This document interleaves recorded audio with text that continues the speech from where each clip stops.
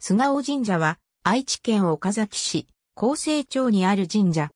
毎年夏に行われる菅尾祭りは能見新明宮大祭、岡崎天満宮の霊祭とともに岡崎三大祭りの一つに数えられている。社殿によれば、起源は第12代慶光天皇の時代に遡る。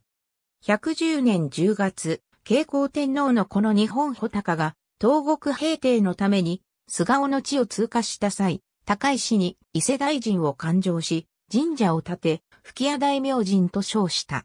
菅尾神社が岡崎市最古の神社と言われるのはこの言い伝えをもとにする。なお高石は現在の菅尾町、岡崎信用金庫本店南側の万世寺あたりを指す。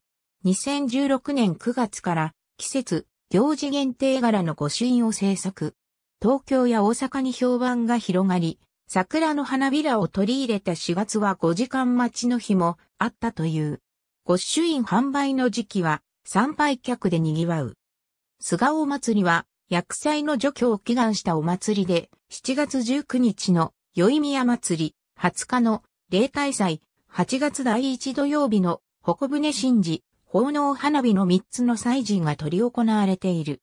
江戸時代文化、文政の頃から、お津川に提灯をつけた矛舟を浮かべ金魚花火や、手筒花火等を打ち上げ奉納している。1818年には、岡崎藩主上覧花火が催され、城下拡張や、近在の村々が技を競ったという。8月第1土曜日の祭事は現在、岡崎城下家康公夏祭りの花火大会との共催で行われている。菅尾祭りの概要は以下の通り。14時開始。14時30分、2層の矛舟、天皇丸、菅尾丸に、宮司らが分乗し、安全を祈願。これを、船玉祭りという。宮司の祝詞に続き、矛船神事が行われる。これは、戦場から菰で編んだ、船型の中に人形、神足を乗せ、菅尾川に流し、液芯を流すというもの。矛船神事が終わる頃、長持ちを担いだ氏子衆の練り込み行列が開始される。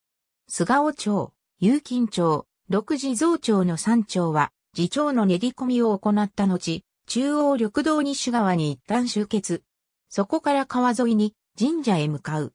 本町連、厚生連、籠田町の山町は、次町を回らず、前述の集結地からお津川沿いを進む。15時30分、神前にて奉納手筒花火。